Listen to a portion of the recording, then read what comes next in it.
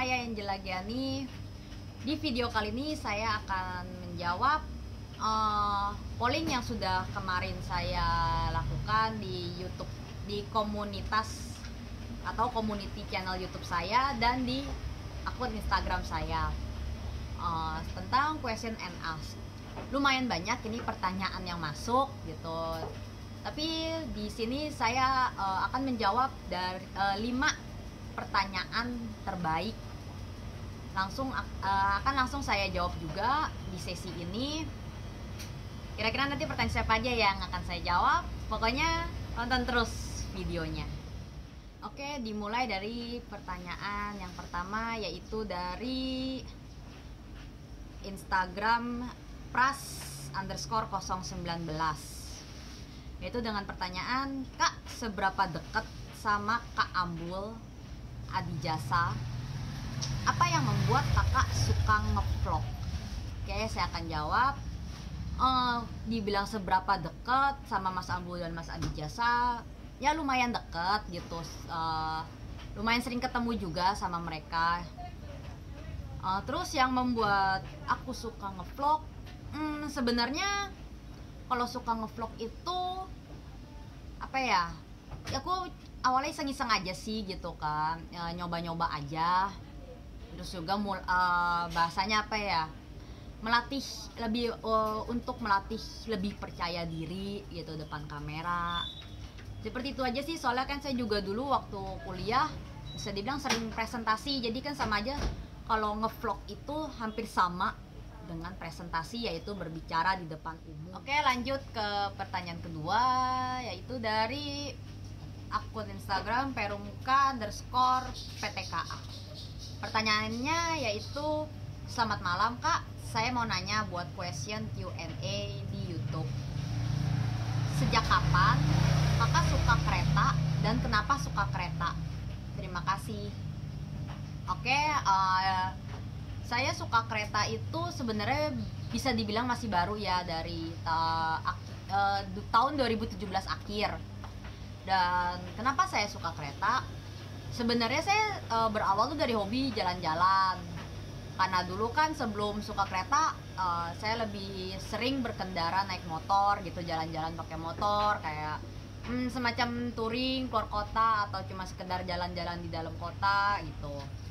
Nah karena sejak saya udah nggak udah bukan udah sih udah jarang berkendara naik motor maka saya mulai beralih gitu berpindah haluan ke kereta api awalnya saya juga kereta api itu bukan naik kereta api saya awalnya tuh sebenarnya e, naik KRL komuter lain di Jakarta. Setelah mulai e, sering naik kereta komuter lain lalu saya mulai melihat kereta api jarak jauh gitu kok kayaknya seru gitu. Kira saya mulai mencoba naik kereta api jarak jauh. Gitu aja sih sebenarnya intinya saya berawal itu dari hobi jalan-jalan lanjut ke pertanyaan ketiga yaitu ada pertanyaan dari Faiz Railintar pertanyaannya itu kalau trip naik kereta itu biasanya ada kepentingan apa? Atau cuman mau jalan jalan-jalan aja? Terima kasih. Uh, kalau untuk uh, kepentingan apa sih sebenarnya sih tergantung ya. Uh, kadang jalan-jalan kadang emang mau nyas kayak apa sih kayak ketemu keluarga gitu ya. Macam-macam sih nggak cuman jalan-jalan aja gitu. Hmm, lanjut ke pertanyaan berikutnya yaitu pertanyaan dari WHS 0803 underscore. Pertanyaannya yaitu hmm, Kak Angel apa sih yang memotivasi kakak suka dunia perkereta apian? Hmm, sebenarnya memotivasi saya suka perkereta apian itu hmm, hanya mengisi waktu luang sih sebenarnya awalnya dulu gitu. Isi waktu luang karena menurut saya kereta api itu unik.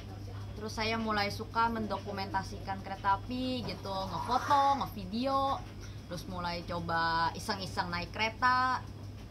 Terus juga ya mulai nyoba juga naik kereta api jarak jauh KRL eh, komuter lain kayak gitu aja sih. Sebenarnya mas selanjutnya ada pertanyaan dari Geri Rama Sastra Negara pertanyaannya itu mbak kalau menurut mbak kalau menurut Mbak setuju nggak so, kalau semua jalur kereta double track dari Jakarta sampai Banyuwangi termasuk jalur petak Bandung, Kroya, Semarang, Kendung Jati, Solo, Jebres sama jalur petak Kertosono, Tulung Agung, Blitar, Malang, Bangil, Wonokromo, Surabaya, Gubeng. Soalnya sensasi bersilang jadi berkurang sekali dengan adanya double track. Oke, kali ini saya akan jawab dari hmm, sisi rail fans dan sisi penumpang ya. Kalau untuk dari sisi rail fans ya mungkin saya uh, akan berkurang sekali sensasi uh, sensasi persilangannya karena double track. Jadi otomatis sudah tidak ada persilangan lagi. Tapi untuk penumpang lainnya mungkin sangat membantu karena mem, uh, karena kan otomatis mempercepat waktu tempuh juga gitu loh. Ya jadi gimana ya antara setuju dan gak setuju sih saya gitu oke itu itu lima pertanyaan yang terpilih yang sudah saya jawab yang uh, untuk yang belum uh, belum bisa terjawab oleh saya jangan berkecil hati. Tunggu di sesi question and ask saya berikutnya. Pokoknya uh, ikutin terus uh, update-update di channel YouTube saya, baik video, uh, community atau komunitas, atau di Instagram saya juga bisa di @referangel yang akan nanti saya masukkan di kolom deskripsi saya juga. Terima kasih dan sampai jumpa.